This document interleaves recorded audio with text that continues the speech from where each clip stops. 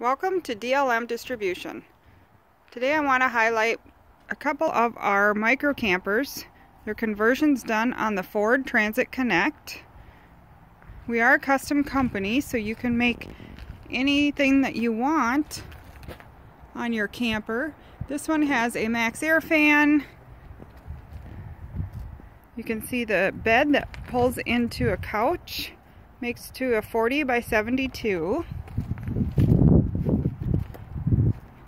We put solar on them, a house battery.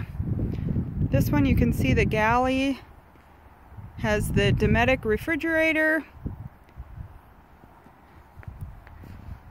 And on this Transit Connect in solar metallic, we have the galley that features a sink, LED lighting, the Dometic refrigerator that's thermostatically controlled, this one also has solar.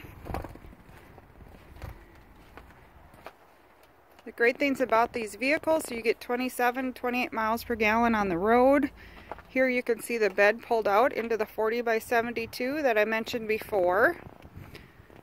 This one has a sunroof with a power shade.